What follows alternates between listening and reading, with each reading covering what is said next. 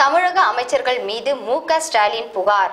மத்திய அரசு மீது தமிழக மக்களுக்கு உள்ள கோபத்தை திசை திருப்ப அதிமுக அரசின் அமைச்சர்கள் பாடுபடுவதாக திமுக செயல் தலைவர் ஸ்டாலின் குற்றம் சாட்டியுள்ளார். இது குறித்து அறிக்கை வெளியிட்டுள்ள அவர் ஹைட்ரோ கார்பன் நீட் தேர்வு விவசாய கடன் தள்ளுபடி என கிடப்பில் உள்ள ஏராளமான கோரிக்கைகளை நிறைவேற்ற தமிழக அமைச்சர்கள் எந்த நடவடிக்கையும் எடுக்கவில்லை என்றும் ஸ்டாலின் தன் அறிக்கையில் கூறியுள்ளார். ஆனால் டெல்லி செல்லும் அதிமுக அமைச்சர்கள் தமிழகத்திற்கு நிதி பெற்றோம் என கூறி எடுக்கும் படங்களை மட்டும் பார்க்க முடிவதாக ஸ்டாலின் தெரிவித்துள்ளார். ஆதி திராவிட பழங்குடியின மாணவிகள் நலனுக்காக ஒதுக்கப்பட்ட முப்பத்தி ஆறு கோடி ரூபாயை மாநில அரசு செலவிடாமல் அப்படியே மத்திய அரசுக்கு திருப்பி தந்துள்ளது. அவலம் நடந்துள்ளதாகவும் ஸ்டாலின் குற்றம் சாட்டியுள்ளார்.